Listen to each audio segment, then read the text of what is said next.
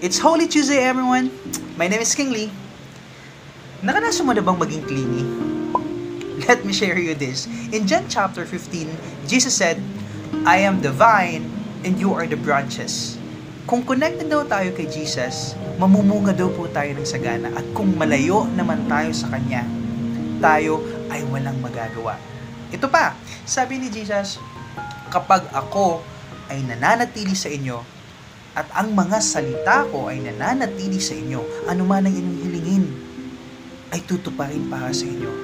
Ganyan, ganyan ang pangako ng Diyos sa mga tao na patuloy na nananampalataya kay Jesus. Stay connected kay Jesus, guys. Okay? Stay connected. At nawa, maranasan ninyo ang mga himala at pagpapala na nagmumula sa Ama. Stay blessed!